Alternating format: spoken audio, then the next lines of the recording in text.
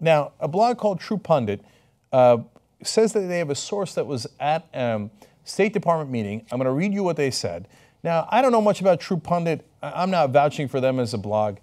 But in fact, I wouldn't even read this to you, except for the fact that the Clinton team has not denied it. And I'm going to show you their non denials after I read you what apparently happened at the State Department when Hillary Clinton was there. They explained Clinton's State Department was getting pressure from President Obama and his White House inner circle, as well as heads of state internationally, to try and cut off Assange's delivery of the cables. And if that effort failed, then to forge a strategy to minimize the administration's public embarrassment over the contents of the cables. Hence, Clinton's early morning November meeting of state's top brass, who floated various proposals to stop, slow, or spin the WikiLeaks contamination. That is when a frustrated Clinton, sources said, at some point blurted out a controversial query Can't we just drone this guy? Clinton openly inquired, offering a simple remedy to silence Assange and smother WikiLeaks via a planned military drone strike according to State Department sources. The statement drew laughter from the room, which quickly died off when the secretary kept talking in a terse manner, sources said. Clinton said Assange, after all, was a relatively soft target, quote, walking around freely, thumbing his nose without any fear of reprisals from the United States. Clinton was upset about Assange's previous 2010 records releases, divulging secret U.S. documents about the war in Afghanistan in July and the war in Iraq just a month earlier in October, sources said. At that time in 2010, Assange was relatively free and not living cloistered in the embassy of Ecuador in London. I, I don't know to what degree she was kidding. I hope to God she was kidding. Um, but there's a couple of things here that makes these more likely to be true. Now they have sources, but people make up sources. If it was a Trump campaign, I wouldn't pay it any mind at all. But this was well before uh, that really got cooked up.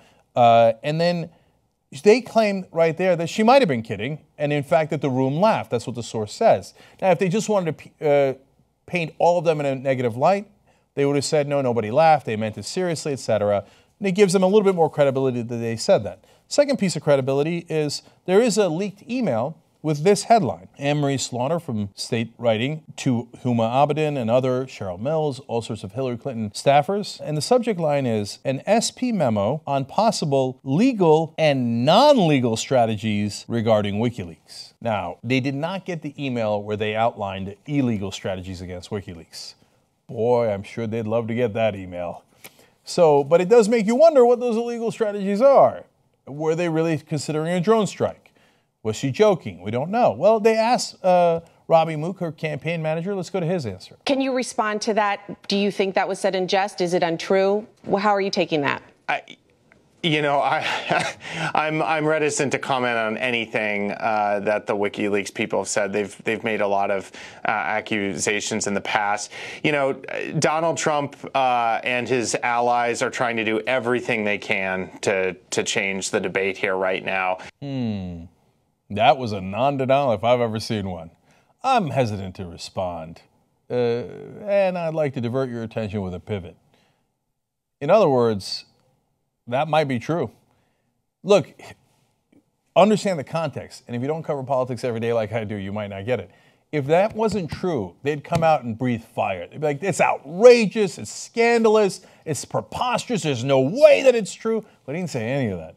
He said, well, I don't know. man. I didn't get a chance to look into it. Really? You didn't get a chance to look into whether Hillary Clinton even joked that they might drone strike and assassinate Julian Assange? If I was her campaign manager, I'd have looked into it.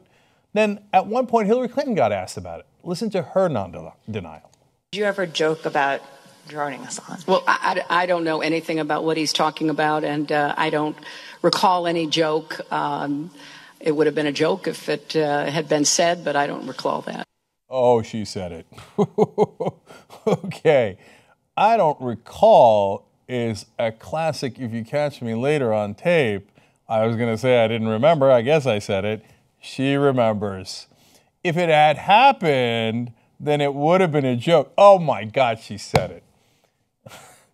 if she didn't say it, you think she sits there and goes, oh, no way. She would be like, that's, out, that's the most outrageous thing I've ever heard. Of course, that's not true. They yell at reporters all the time.